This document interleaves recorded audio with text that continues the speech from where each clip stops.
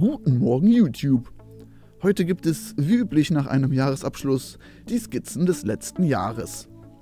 Das ist diesmal etwas mager ausgefallen, liegt aber eventuell daran, dass ich generell mehr andere Videos und vor allem Brickfilme im letzten Jahr produziert habe.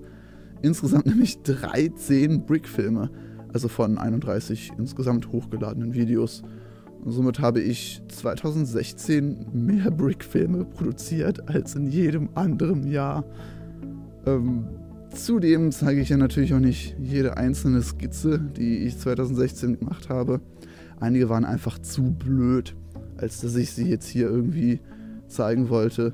Und andere wiederum, die musste ich vorenthalten, weil die Teil eines anderen Projektes sind, was dann mit an Sicherheit grenzender Wahrscheinlichkeit 2017 kommt. Also dieses Jahr. Ja, dann viel Spaß damit. Tschüss!